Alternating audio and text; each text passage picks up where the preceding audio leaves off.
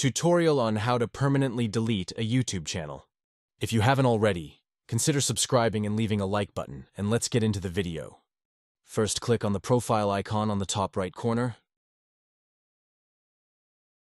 Click on YouTube Studio.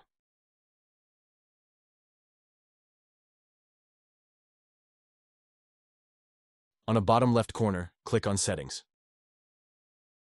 In Settings, click on the Channel section. Click on Advanced Settings.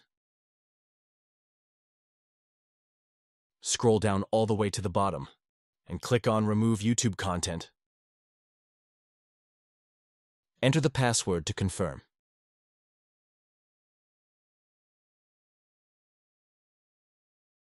There will be two options. I want to hide my content, and I want to permanently delete my content, so we're going to choose the second option.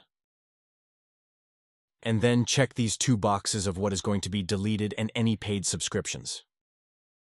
Click on Delete My Content, and then type to confirm your email address. Click on Delete My Content. And there you have it. Your channel has been deleted, but it may take a few minutes to make the changes. If you haven't already, consider subscribing and leaving the like button. Thanks for watching.